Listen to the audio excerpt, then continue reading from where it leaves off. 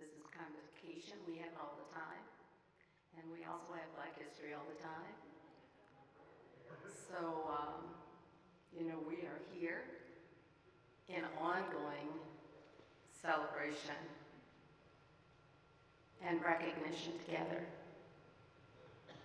not only of our history as Black people, but our, our history together here as humanity, working it out together.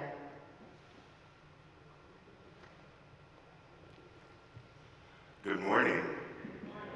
Welcome to our Black History Month convocation. My name is Javon Robinson. I'm a senior biology major here at Carleton. And this morning, I have the honor to introduce our Black History Month convocation speaker, Commissioner Toni Carter. While completing research,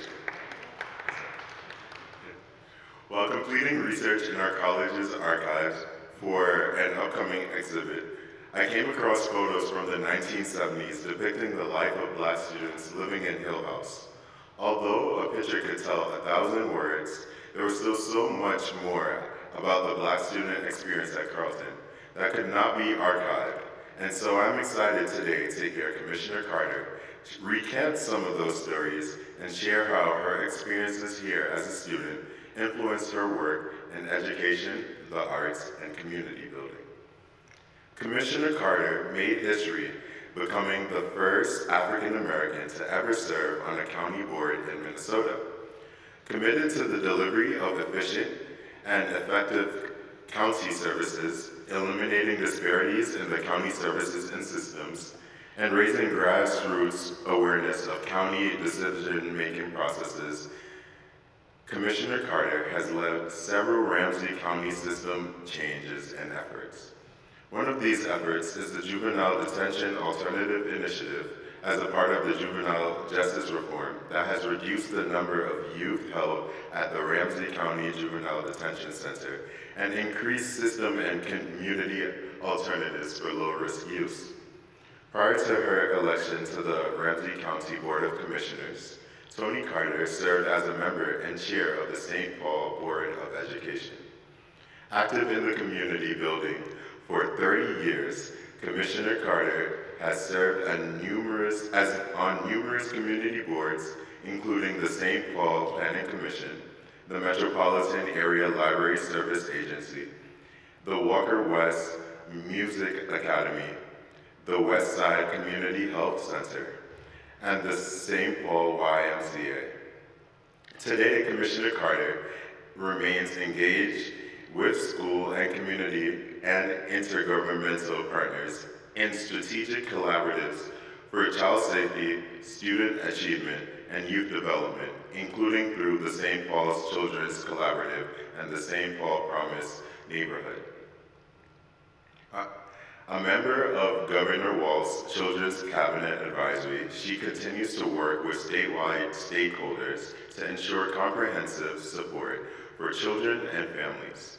She has also participated in leading impl the implementation of regional area leadership workforce participation through the greater metropolitan workforce.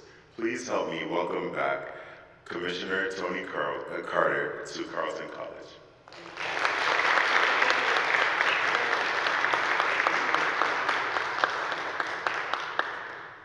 It is a joy to be here today, and I had to apologize to Javon for jumping the mic and being here. I was um, on the road, not speeding, but driving aggressively to get here on time. Uh, it was a little dusty out there this morning.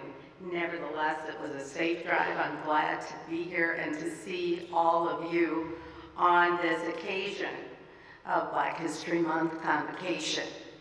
I appreciate being invited back. I don't get back to this campus often enough. And it is a place where I have so many memories, both fond and difficult. Uh, so I'm glad to be here, to be in this space, to see all of you, and to be able to reflect on some of those memories in the context of the life I've lived in the Twin Cities area here in Minnesota, my family and community, and the work that I currently do as Commissioner on the Ramsey County Board of Commissioners for the district, elected out of District 4, which is largely, which is St. Paul, about a quarter of St. Paul, actually. Uh, It encompasses the area around I-94, between the river Minneapolis and the capital. It encompasses that area of University Avenue, where since 2014, we have been able to have the first light rail line for the East Metro area, connected, of course, uh, to the line in Minneapolis that leads southward. I have been delighted in the work that I've chosen to do these past 20 years as an elected official. Three and a half of them spent at the St. Paul School Board, which was a natural evolution of my becoming, having been here at Carleton College and in the teacher education program. I continued to enjoy the process of educating young people, including my own, becoming a teacher for a while, before joining the St. Paul School Board for a while, and then before running for the Ramsey County Board of Commissioners, where I have served since 2005. I have to tell you that coming to Carleton College may not have been the most natural evolution of who I was at the time when I came. A 16-year-old from the Hough area in Cleveland, Ohio, which I would not have been, but would probably reflecting based on academic studies and current events and things of that sort, as an urban ghetto at the time. Having attended primarily gifted and talented programs early in my life, being plucked out of my neighborhood school and having attended major work and enrichment accelerated programs, but then, then deciding after that period of riots and being locked up in the cafeteria at Collinwood Junior High School, that I really needed to return home. So going back to that area, University Euclid in Cleveland, and attending high school at John Hay, which was an all-black high school, and deciding after getting there, hmm, you know what, I probably could leave a year early. I was enjoying myself, but I'd taken all those courses. So coming to Carleton at 16, I tell you, at Carleton, I found friendships, relationships that I continue value, appreciate, and to call on today in my life. I have a question. Is the old Nourse basement still haunted? Well, it was at Nourse, where I lived in my first year, that those relationships and friendships began.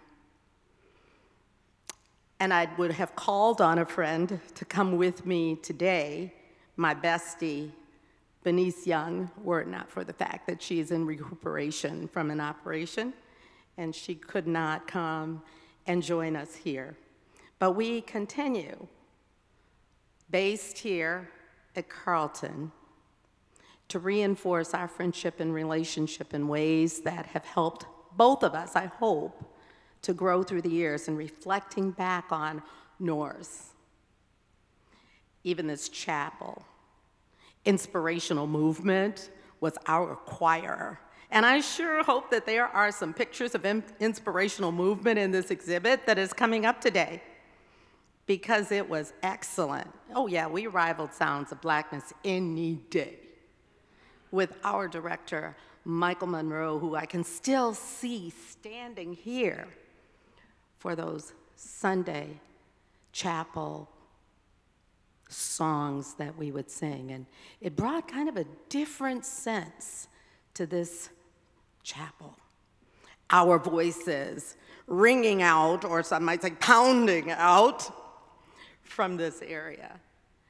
And introducing Northfield and Carleton College to gospel music was just the most delightful thing for me and for those members of Inspirational Movement with whom I sang.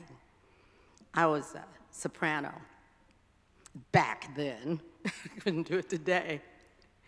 And I do remember joy, joy, joy, joy, joy, joy. The joy that we had here at Carleton. I mentioned that Old Nourse was haunted back then. I wonder if it is still today. But down in Old Nourse, down in that basement, we discovered the Old Nourse Theater. And did you know that the Black Ensemble, the Black Theater Ensemble, produced a number of plays back in my day in the Old Nourse Theater? Is it still up and running and used for small theater? You know, I'm not really sure that we were confined to that theater, but we did have productions there. I don't recall going out of that theater into other theater spaces back then. I'm not sure why. It felt right. You know, we were there as family and community. I don't know that we were giving our best service to the entire college because I don't remember that we actually had an audience that we drew from the entire college at that time, but the productions were incredible. Anybody back from that day recall those productions in Old Nourse Theater? I hope so. All right. Thank you for joining us and being a part of our community. Do you remember Fred Easter? I do, yes. And Fred introduced us to the A Better Chance program, which was an opportunity for young black students, young students of color. Most of them were black, as I recall. And I remember Fred and Leroy Jones, who came and plucked me out of John Hay High School in Cleveland, Ohio. You see, they were actively recruiting for diverse students at that time, and they came to my hometown and they met with me. I interviewed, and the next thing I knew, I was on a plane coming out to Northfield, Minnesota from Cleveland, Ohio. It was a bit strange, but it was springtime. They knew when to bring us out. And we had a ball. Upperclassmen hosted us throughout the weekend, carried us through the college, introduced us to the environment, the natural environment, to the professors, to people in the community. It was a very, very interesting black weekend in the middle of this white university that made me feel embraced and welcomed. Still just a little bit strange. It was the time, I believe, during which Carleton had the most diverse community ever. And I think the investment in sharing with us that intensely cultural time on this campus was an investment in acknowledging that we needed to be surrounded by familiar faces, that we needed to be embraced by that cultural connection, fed, nourished, and exposed to an environment that would nurture us with a broader community and that would assist us in our walks into the world. It was an investment in getting to know us better and in wishing that we too would get to know the Carleton community better. So I remember Leroy Jones, I remember Fred Easter. You know who else I remember? Oh, yeah, sure do. I remember Paul Wellstone.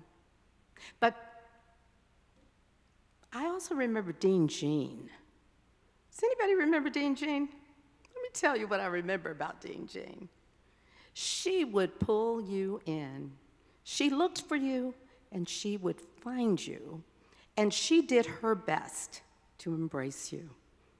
Dean Jean, to my knowledge, was a European American woman who understood her role of reaching out, of embracing, of introducing and elevating. Anybody remember the mortar board? The mortar board was a distinguished organization of women. Does it still exist here at Carleton? Anybody on the mortar board? I was invited to be on the mortar board by Dean Jean. Oh, that was cool. And she brought me in and she introduced me to the other members of the mortar board.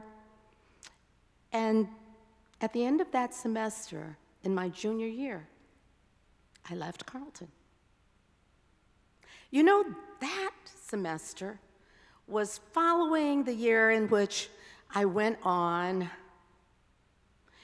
an international trip with Michel Monod, who was a French professor here, and who had also understood his role of drawing in and embracing and supporting and introducing and lifting.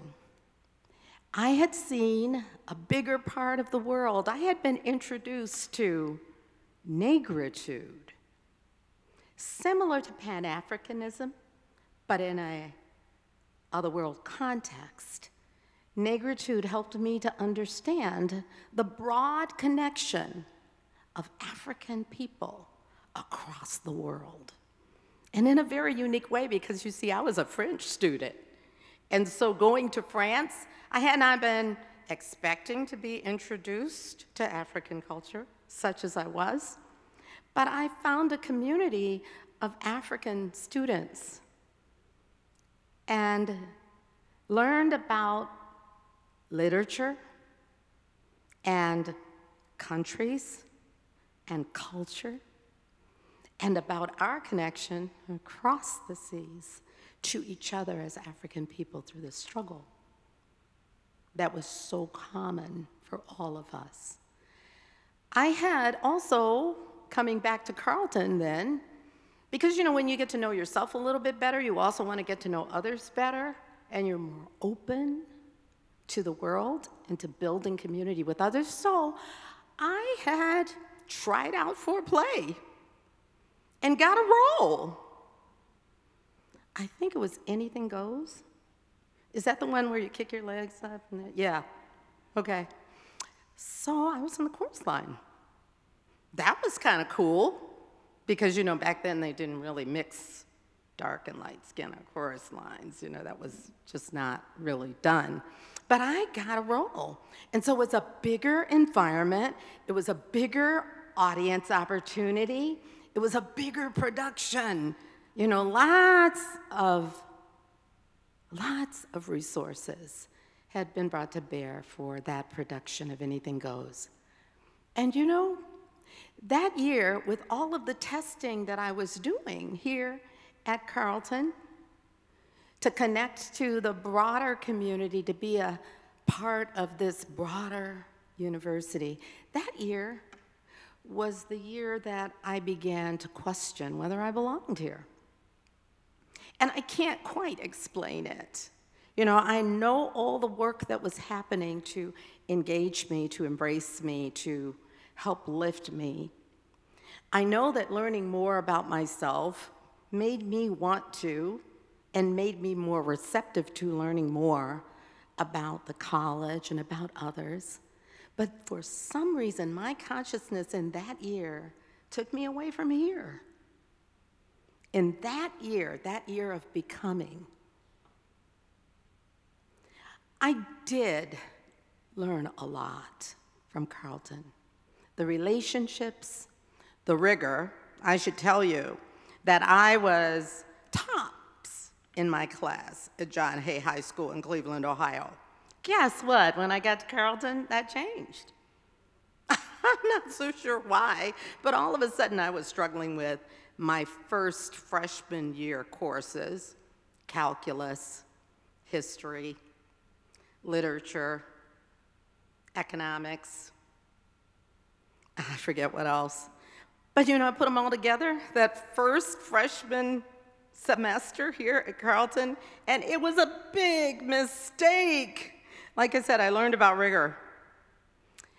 I also learned through my relationships about teamwork and cooperation, and through those who reached out to me, professors, about helping others and about that willingness to work together.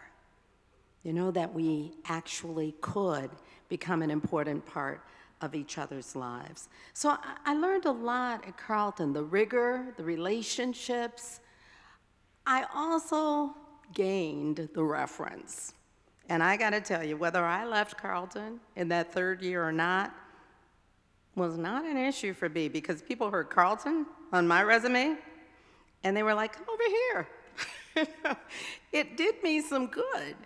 And when I applied to work for the IBM Corporation, not yet having finished, they brought me in and I spent 13 years as a systems engineer, a marketing representative, a marketing and systems manager at the IBM Corporation, leaving only because I didn't see my role models there.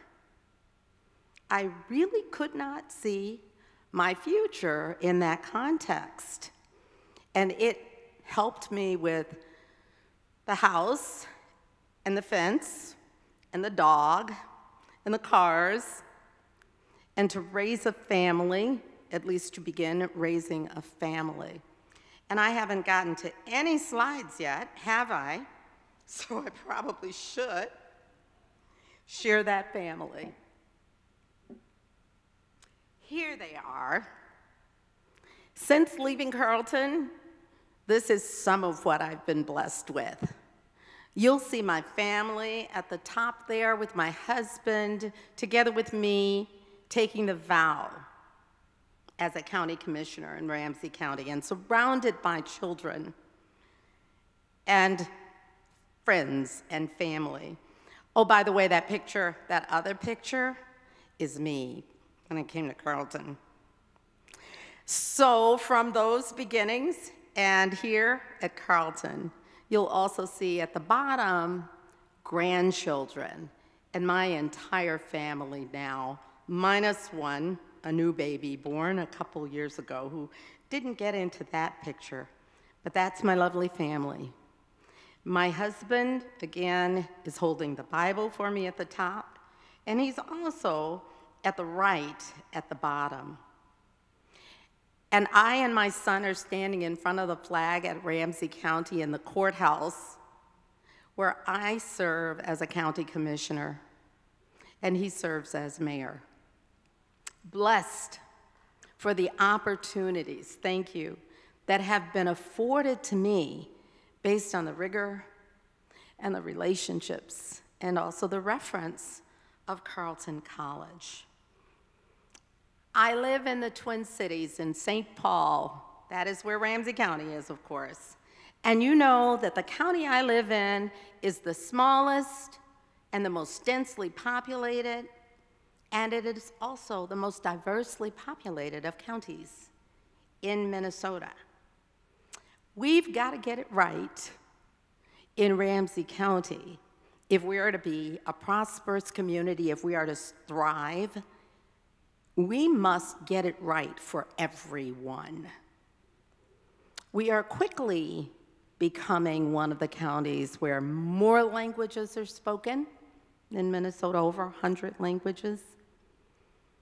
We also happen to have a very large population of young people, yes, including young people who have joined us from many diverse countries and who speak those many different languages that I talked about. We have a high concentration, too, of poverty, with over 25% of those young people living in high poverty households. It is not a coincidence that we are largely people of color and we have such high poverty. I do not have to give you that lesson because I know that you know the circumstances of disparity that in Minnesota, which is the Minnesota miracle, the circumstances of disparities and disproportionalities that exist for people of color, whether it be in terms of poverty or owning their own homes, or in terms of the level of education that they are able to achieve and academic readiness to go to college, or even in terms of the justice system and the ability to live healthy and free without engagement, ongoing and repetitive, in our justice system. So I don't have to tell you the impact that that has had on people in my county or across the state, across the country, or across the world. But what I do have to tell you is that in Ramsey County, we are using rigor and our relationships and our reference to move our county forward. The work that we are doing, the examples that we are setting, the work with our community and focused on equity that we are doing, I hope, will lead us to the better future that we all want for all of us.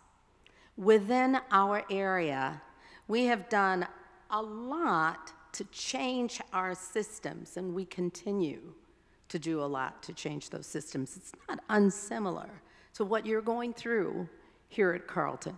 You know, understanding all of our good intents, you know, do not achieve the outcomes that we have desired for all of us. We are wrapping our heads around the research. We are wrapping our heads around the information and data.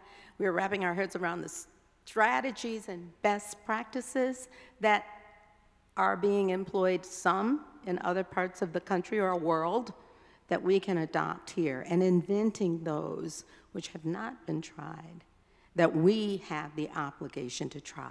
I'm showing you a pie here, and I don't think you can necessarily read this, but this pie is of the values that we've established in our county and that we embrace as we do the work for people as our greatest asset, whether they be people working for us in the county or in our community working with us.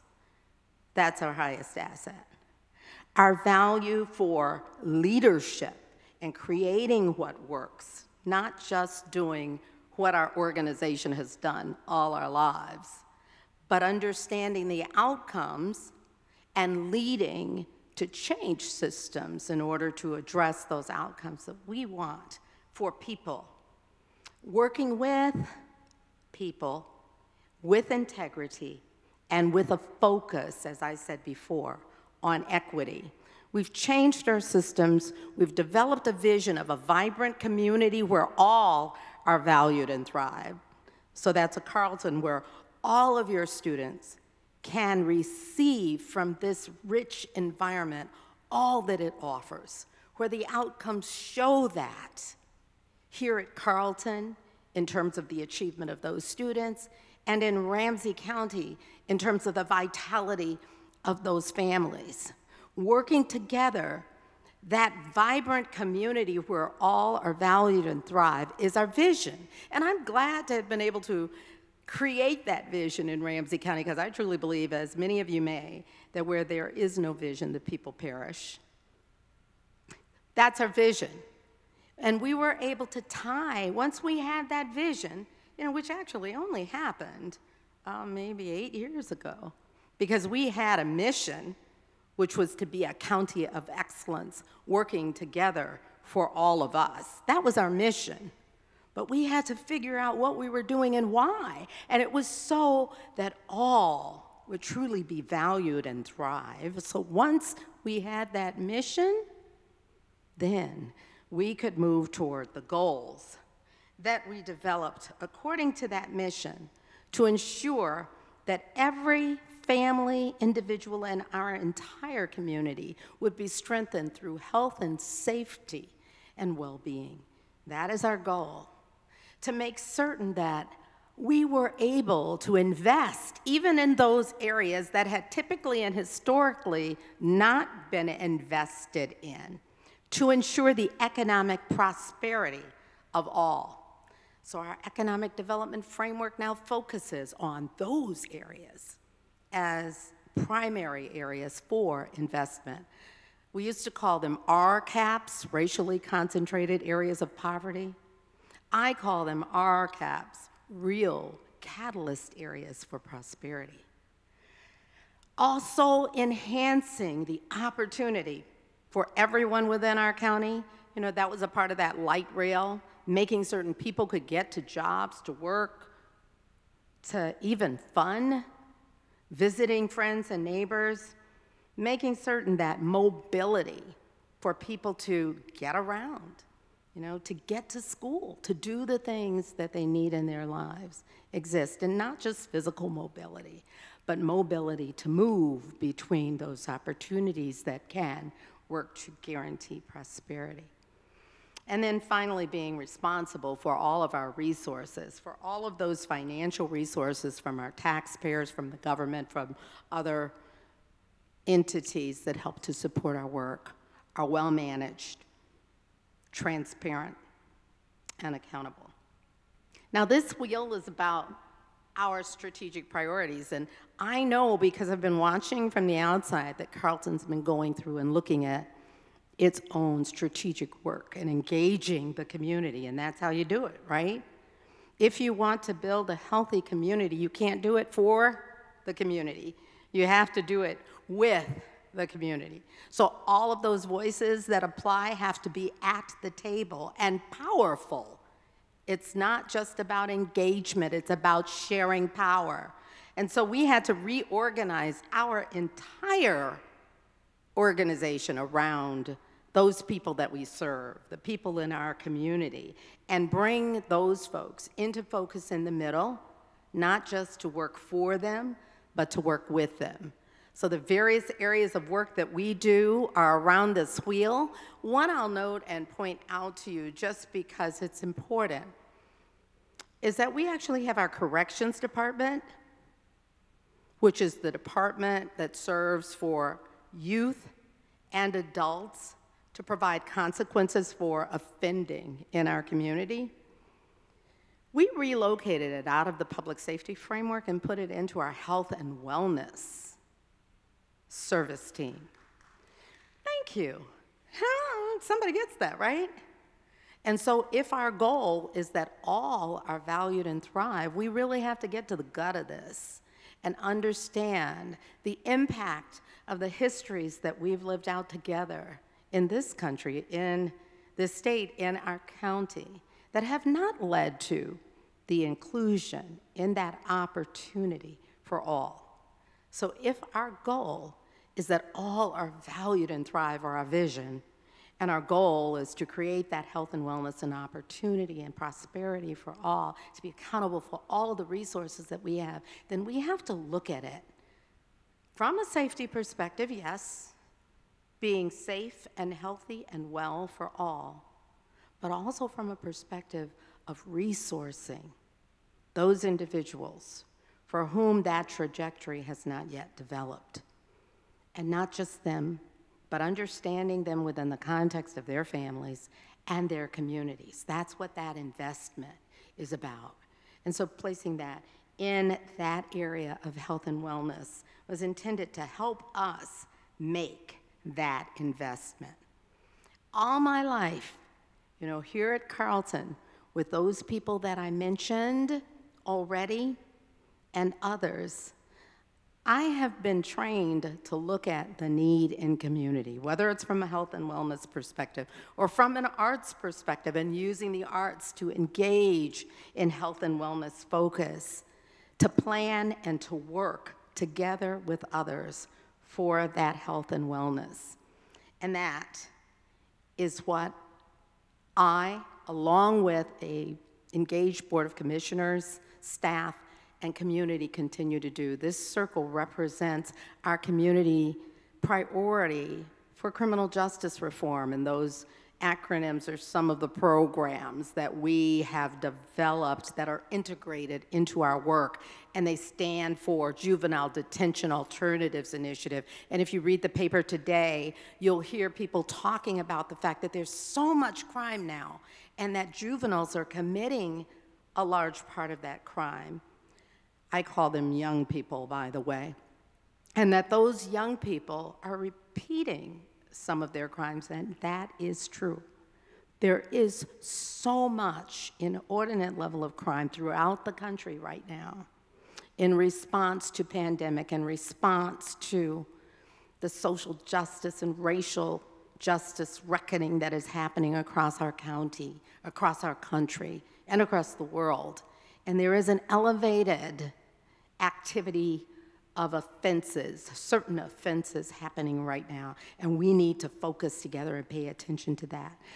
But we also need to recognize the context of long term transformation. And that says you test, you do, you figure out what works, and you don't turn around because of a blimp in time. You know, you develop new solutions, but you continue the strategies that tend to work to help young people grow, to help them grow beyond, and they do, traje trajectories of crime, and to ensure that at the same time the community is safe. And so you'll hear about some of that work. CJCC is our Criminal Justice Coordinating Committee. I like to call it Community Justice Coordinating Committee and TST is our Transforming Systems Together, which now wraps around all of the work that we do at our county. Just a mention of that. These other slides I usually use when I'm talking a lot about the work that we've done at our county. They do address priorities that we continue to focus on within our county. Let me stop on this one. I, as a member of the Board of Commissioners, I serve to make decisions on a weekly basis about policy and financial aspects of our county, funding and support of programs. And when I make those decisions, I need good information. All of us do. I learned that at Carleton. Research is important, information and data and testimony. And so when I make decisions on the Ramsey County Board of Commissioners, and as chair over the past couple of years, I've requested to know what is the impact of this decision on racial groups, to understand how this particular decision will impact racial equity.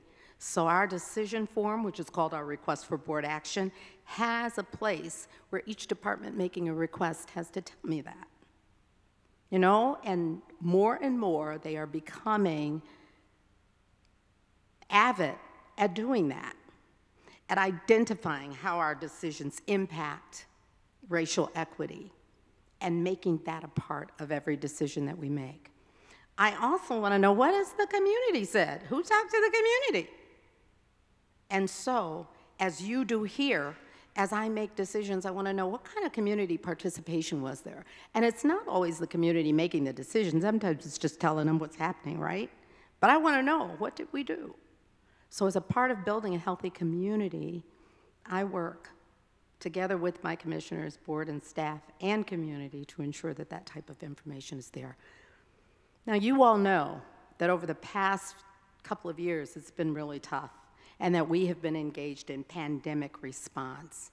And the county making sure that people eat, have a place to stay, when they lose their jobs, that there is some opportunity to support them and their families financially, that we are able to connect them to new training because the jobs they had are gone and they now need new ones.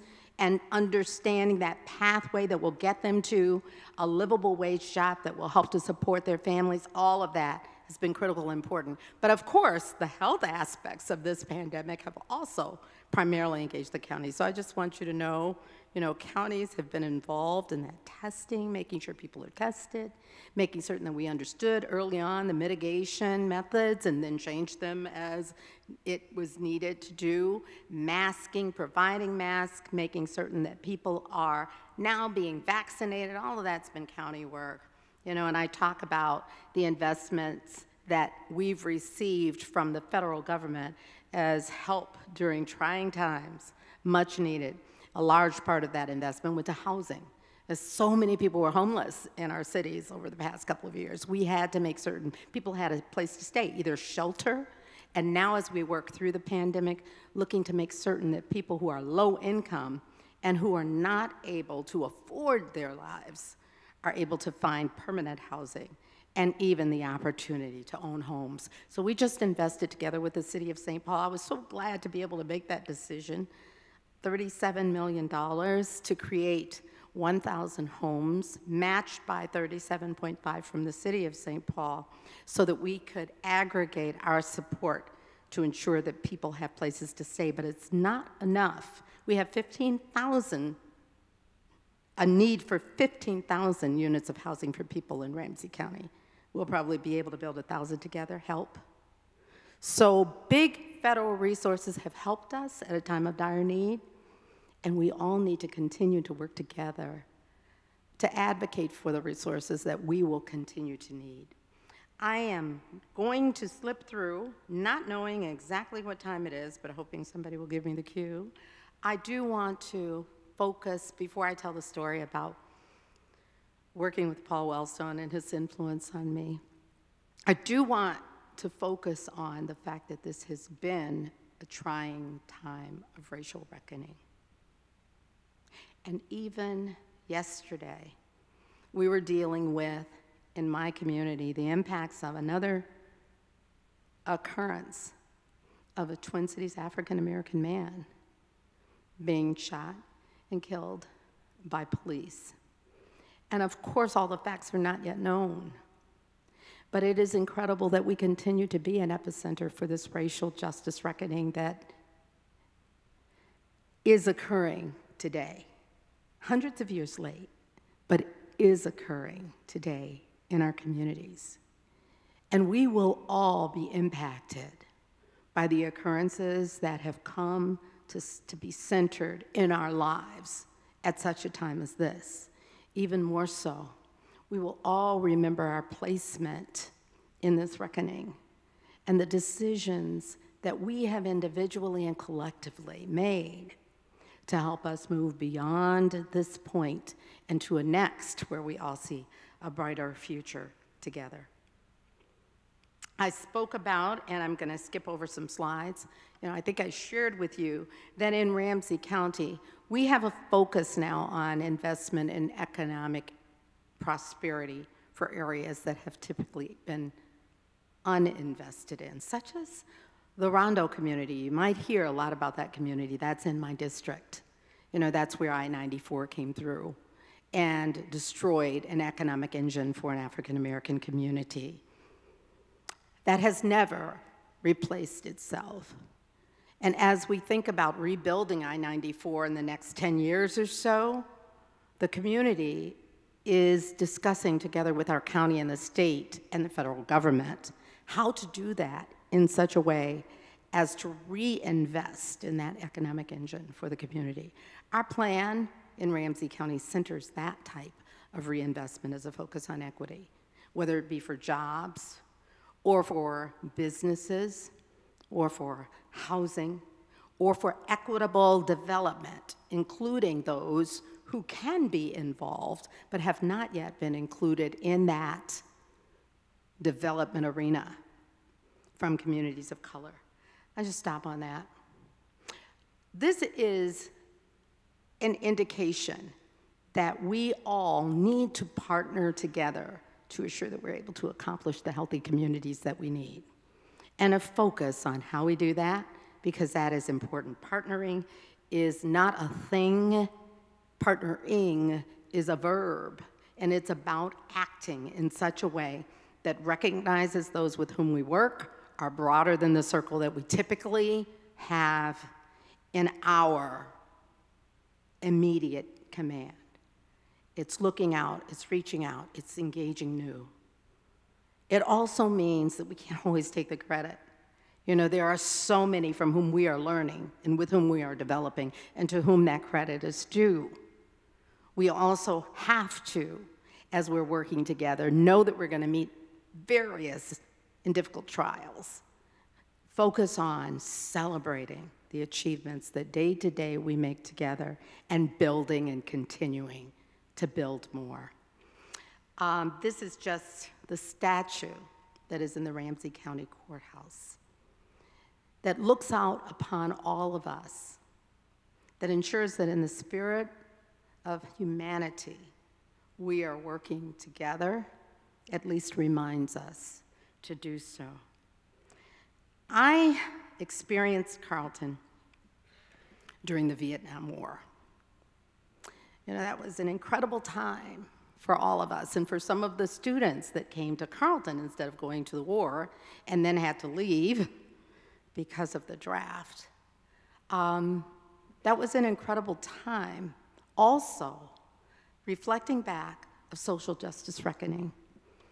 And we had the honor of being led by an incredible social justice champion, Paul Wellstone, who became Senator Paul Wellstone, who actually had a staff person call me on the night that he took that dreadful plane ride. And I had the opportunity to be among those who would serve as a surrogate for him when he could not be available at a local event. I have to tell you, that evening I said, No, I got to do something else. I don't know why, but I didn't go that evening. And of course, the news that came after that was devastating and dreadful for us all. My Paul Wellstone story is about having dropped his class because I had too much going on you know, that semester. Having dropped his class, but continued to be a fan of his. And I recall a trip that we took to the south, and it was to the area of my origin, actually to Columbus, Mississippi. I'm from Alabama, my family is from Alabama, and Columbus and Alabama are right like that. And I have relatives in Columbus and had at the time, only I didn't know it because I didn't tell my mother and my father until I was there. With Paul, with Paul's influence, and having been on that trip and having met people in Mississippi who were afraid to vote, who were afraid to engage. And this in the early 1970s because of the fear of what could happen to them. Having been on a bus and been stopped by the police because we were a bus of African American and white students and faculty and staff. Having been questioned at that time and fearful of my own life, after which I called my mother and told her where I was, and she said, You're where? She was afraid for me. But having been led and taught and understanding that each one of us has to take a step forward in order for all of us to advance. By that man, Paul Wellstone, I continued to connect to him through the years. And even on the school board in St. Paul, to use him, to call upon him as a mentor and a friend. And I, like you, if you knew him or knew of him, miss him tremendously. But I think Paul had a lot to do with my own reckoning, with my own development of a sense of justice, and with my own ambitions to be an ambassador in the world and with my own ability to recognize that right where I stand in Ramsey County, with the diverse community that I have, and with the great needs that each of us has to ensure wellness and prosperity for all, He has left a mission for each one of us, and I pick up on that mission by being an ambassador in my own community, by loving community by working to develop a strategic agenda in our county that places love first, love for all, and that wishes to that vibrant community where all are valued and thrive. I believe I may have spoken a little too long, but I'm going to check. What time is it? Let's see. 11:40, and actually, we are right on time. If you Yikes. if you're okay with some questions and Oh, answers. absolutely. All right.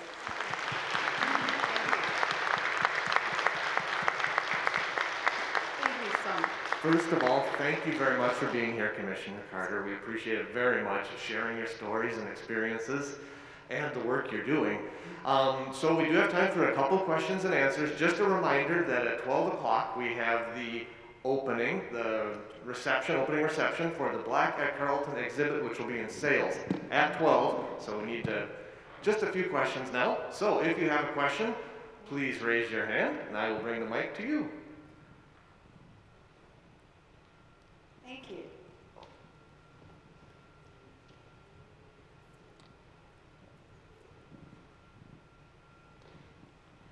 Thank you very much. I enjoyed your um, talk immensely. And um, one of the things I was pondering as you were speaking is that I think the county level is often one that we are a little bit less aware of, or at least I have been, I guess, maybe I should say. And I'm wondering if you can talk about um, kind of the difference you can make at the county level that's unique to that part of government. Thank you very much. I do believe that the county is so unknown and has such a great impact on all of our lives. When I ran as a county commissioner, I found it to be an opportunity, incidentally, as the first African American to be elected to county commissioner in Minnesota. Um, the second was elected about three years ago. But I found it to be an opportunity to help people understand the county's role in our lives. Um, again, this chart is going to be hard to read, but I break the work down into four areas, and I'll just tell you that the area up top is health and wellness, and that's where I talked about the work that we are doing that engages social services, financial supports, public health. I mentioned that our corrections department is in that area. And you know, that's a lot of work. We also have facilities like a nursing home and a facility for people with disabilities and veterans services in that area. So we are responsible in our health and wellness work team for the supports that people need for mental health services, for assistance financially, that comes from the federal government and through the state, but we are responsible for making sure that those financial supports, for example, for people who are seniors and looking to live in a nursing home and need and being in need of support through Medicaid, those resources are all approved through the county. And we have caseworkers, social workers who will work with people in that regard. If mental health services are needed, that's in that health and wellness area. By the way, that also in- involves environmental work that we're doing, such as a facility out in Newport, which creates renewable energy sources, uh, you know, pellets from our trash that are used to create electricity. So there's a wide variety of things just in that area that we do. I mentioned the support of veterans, etc. In the area of safety and justice, you know, corrections, yes, is located in our health and wellness area, and the corrections is support for people who have offended, have seen a judge, and are now on probation or in a facility, a short-term residential facility run by the county. So we have the probation officers, we have the short-term facilities like the Ramsey County Correctional Facility. We used to have a boys' totem town, which was for young people incidentally, that had about 80% boys of color. Um, when I arrived at Ramsey County in 2005, we had about 200 young people staying, almost 200 a day staying in that facility. Currently, we don't have Boys Town. We closed it a couple of years ago. We still need places for young people to stay, and we utilize those facilities in other parts of the state, sometimes even uh, in other parts of the country. But we have developed a number of ways for young people to stay in residential facilities in our own community. And we believe that that is better than a large facility where young people live, you know, for six months or longer. We want them in homes, in the community, with family-like settings. And that may be multiple young boys or young girls, but it's important that they're able to get treatment in the community, that they're able to continue their school connections and their family connections. So that's what we're working on here. The other areas are economic growth and community investment, safety and justice. That's where county attorney serves, the judges. We support the judges that actually work for the state. We have sheriff who is a police officer for our suburban communities, some of which don't have their own police departments. Emergency management, such as you know, when we have pandemic and things of that sort, helps us to get information to the community along with our public health department, or if there are violent uh, outbreaks in our community, or floods or things of that sort, we manage all of that. The economic growth and community investment area is that area of planning long-term for our economic vitality.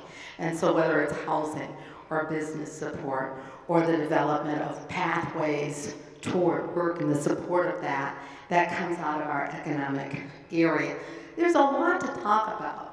You'll see probably about 30 different departments. And of course, in the information public records area, we're managing taxes, we're managing birth records and you know all kinds of records and information. You can ask us for data requests and we have to provide that information. So yes, thank you for asking me to stop on that and just to share a little bit about what our counties do.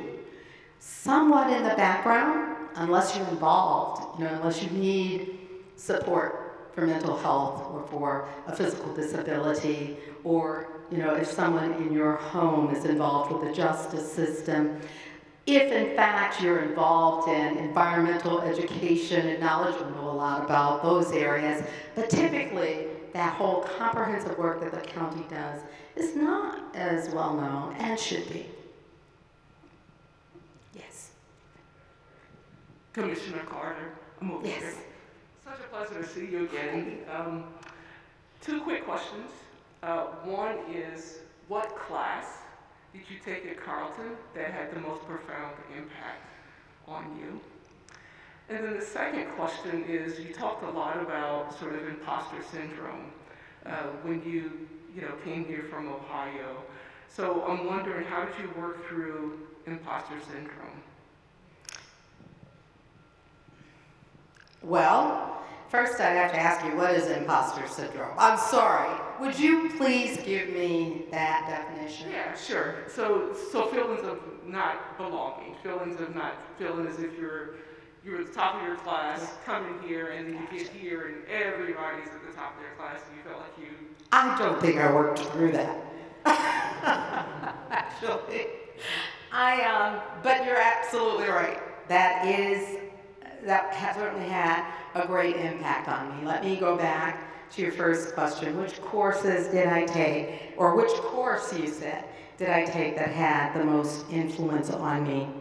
And I think I would have to say it was my French curriculum. I came from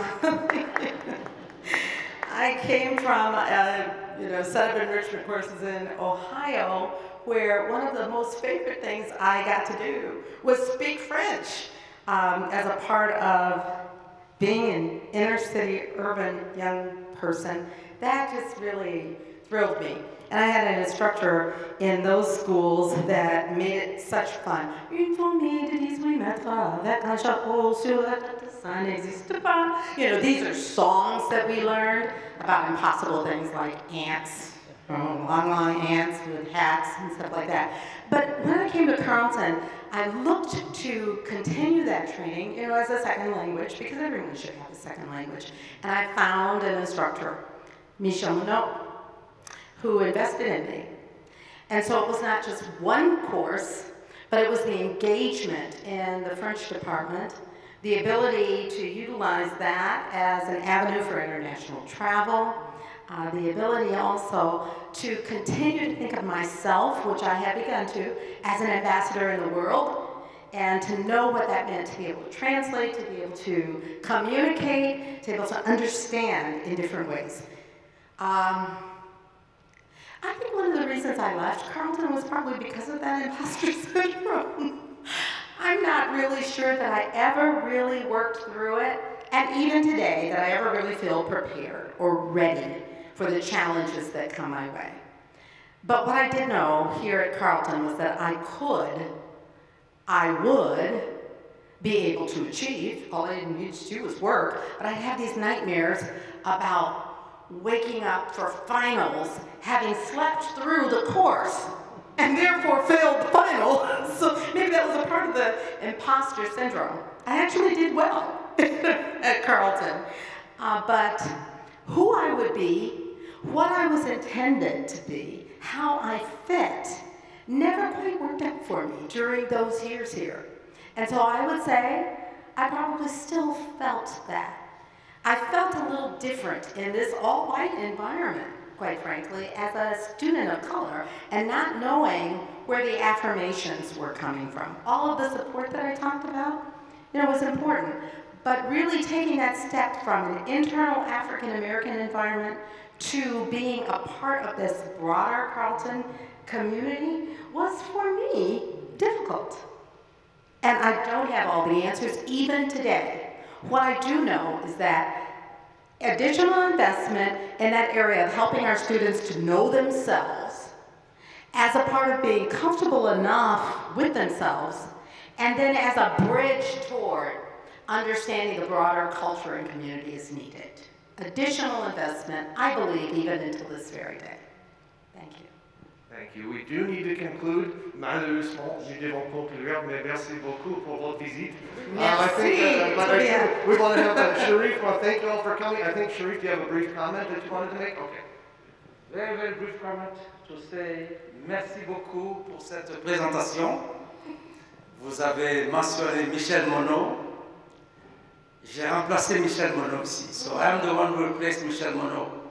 So I really appreciate that. You mentioned his name and all the good things he, he did for you.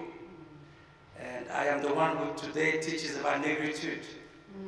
So Oh, no, I was looking for you then. when I was looking for you. Where were you? Well, I came, I came, I guess, uh, 10 years after you. Oh, So oh, again, Michelle, I'm That glad is a part of that Michelle had introduced that. Thank you. And uh, so I want to say that you are truly an ambassador. And make sure these recordings about the French department, we can have access to them. Okay?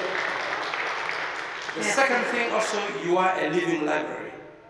And we need to value our living libraries. Because the information you brought, you brought so much to answer questions I've had, you know, because I always heard about that time when Carleton had this vibrant, you know, black community, community of color that, and I happened to meet some of the members who became so successful in different ways. But later I could only hear caricature about that time. Ah, we Because- will have to get together more. You see, because I've heard expressions like, oh, the recruiting was like somebody would go stand at a street corner and get black students to Carleton. I've heard It's like that. more than that. That's a terrible caricature. But I say, I mean, maybe some people came and did not make it. I mean, that's, Yeah. it's every, you know, place, you know. But again, you know, I've also seen so much that come out, came out of that. So you've really put a balance on things for me. Uh, Thank you very much for that. Yes. And merci beaucoup. And also, one last thing, the honorable mayor, now I can see that he has a connection to Carleton. Absolutely. And that leadership can also be, and mostly you can get it from, from our, our parents. So again, I think you've been a great stepping stone for him. So thank you so much. Merci beaucoup. Merci, merci beaucoup, merci. This concludes today's convocation. Thank you all for coming. We'll see you at Sayles. Thank you so much. Thank you.